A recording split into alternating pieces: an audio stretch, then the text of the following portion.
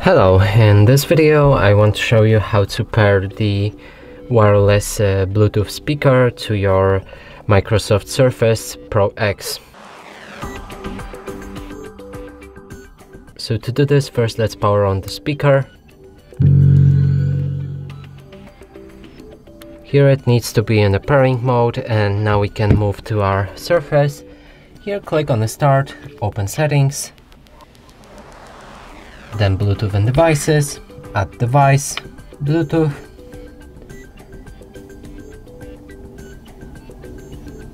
here we need to wait till uh,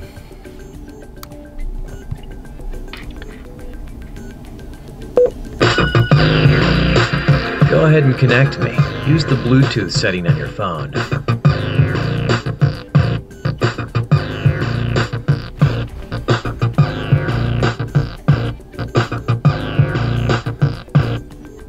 Soulmate is connected. and now it's connected we can click on done. And that's it for this video. Hope you like it. Please consider subscribing to our channel. Leave a like and a comment below